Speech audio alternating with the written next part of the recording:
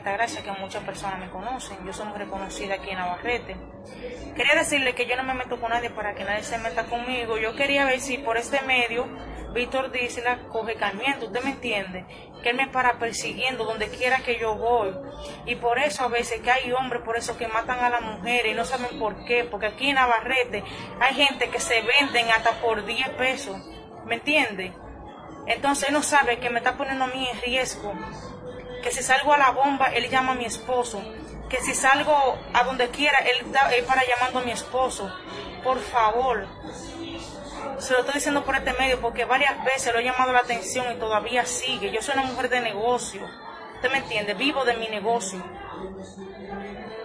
Entonces, él para todo tiene que estar llamándolo. Es lo que yo siempre le he dicho a él. Tú puedes llamarlo si tú me ves haciendo algo raro, ¿tú me entiendes? Pero él no me ve haciendo nada raro.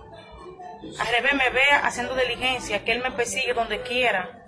Entonces, si a mí me pasa algo, Víctor dice, la es responsable. ¿Me entiendes? Porque yo no me meto con nadie para que nadie se meta conmigo. Por eso mismo lo llamé como la gente y nada, así no coge calmiento al revés. Más me sigue él persiguiendo. Así que ya usted sabe Máximo Peralta. Espero que este video pueda llegar también a mano de él, que él lo pueda ver. Y también a los otros, a las otras jóvenes le doy un consejo.